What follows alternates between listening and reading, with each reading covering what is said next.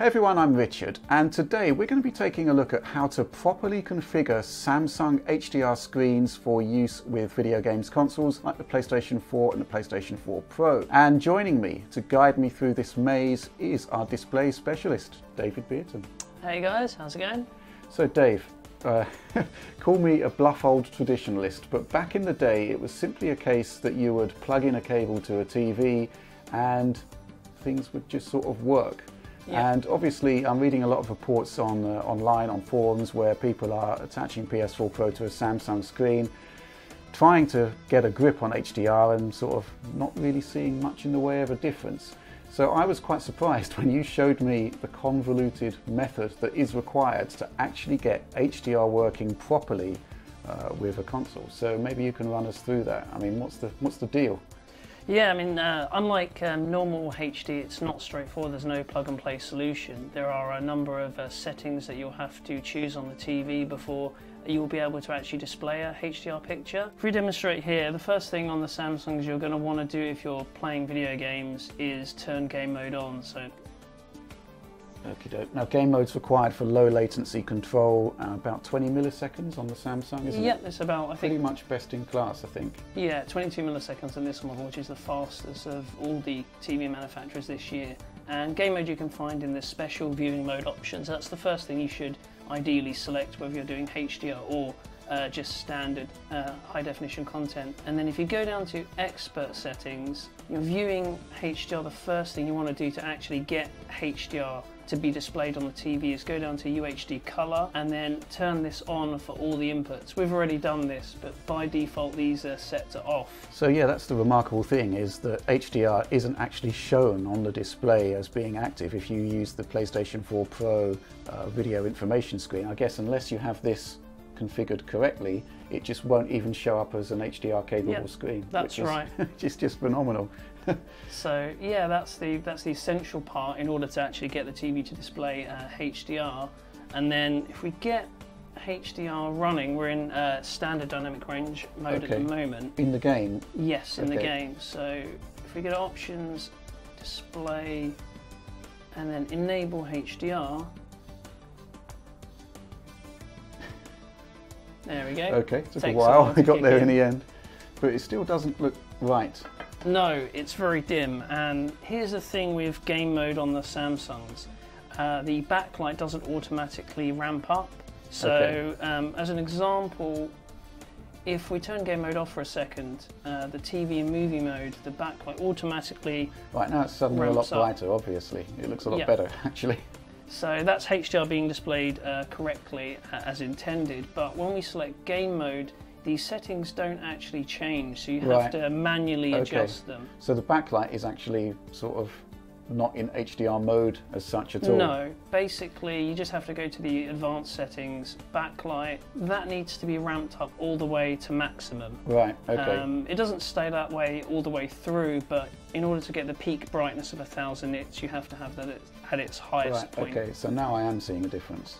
Yeah, and then the other settings that you should enable for HDR in order to get the maximum dynamic range is Smart LED, which is the dynamic backlight, that should be set to high. Uh, so in dark scenes, the backlight will dim and you get uh, those important sort of dark black levels basically. Mm -hmm. And I think that's it for HDR. Ah, color space also you want to adjust to auto if you're not going to be calibrating the set and that will put the TV into the wider color gamut mode and enable it to track the uh, DCI color space correctly. Okay. So you're basically going to be getting a, an accurate HDR image. So now we are in full HDR mode? Yes, we're in right. full HDR and it is all set up so it's being displayed properly now. Okie doke, right, okay. So maybe you can just run that through that kind of bullet point list of things you need to do from the off? Yep, so um, first thing, select game mode. Then you want to go to UHD color and make sure that all of those options are turned on for all of the different HDMI inputs. After that, you need to select Smart LED and put that to high for HDR content. Uh, color space needs to be set to auto if you're not having a calibration.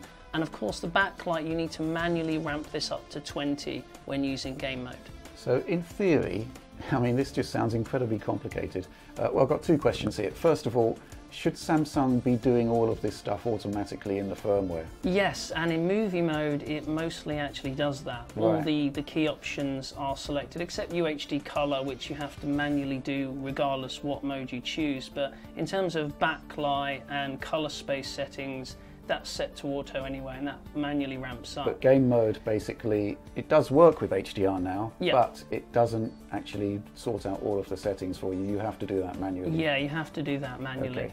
And another point which I want to clarify here is I said earlier this is applying to all 2016 Samsung screens, possibly the earlier ones, we'd need to check that out.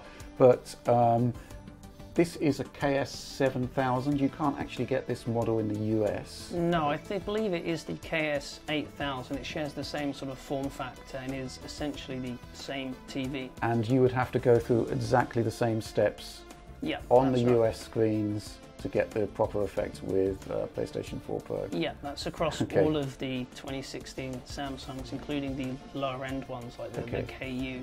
Yeah, yeah, KU actually. That's something I wanted to talk about. Now, we previously did a review. You did the review actually for the KU 6400, and a lot of these lower range screens they do suggest that they support HDR, but they've only got 8-bit panels, right? Yeah. So they don't really.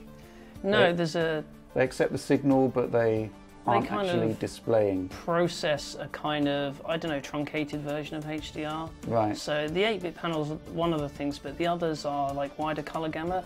Depending which lower end Samsung you have, a lot of them don't have a wider color gamut, so you're not getting the extra color detail. Right. And the other important thing is they don't have a dynamic backlight.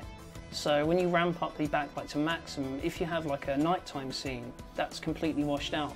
Right. And you're ruining the, the decent blacks that the panel can get. So Yeah. you're not really getting the high dynamic range, you're getting a kind of brighter highlights, but not much else. So, do you think we should just ignore HDR on a on a earlier on a lower uh, end screen? I mean, I personally wouldn't use it on like the KU we have in the office or on the lower end Samsungs, the, the KU series in general, just because you're kind of sacrificing depth and sort of dynamic range in sort of mid and dark areas. So you're actually getting a worse picture. That's yeah, I prefer to have a calibrated SDR image instead, Mhm. and then only use HDR on TVs that can sort of handle it to a high standard, like the KS series here.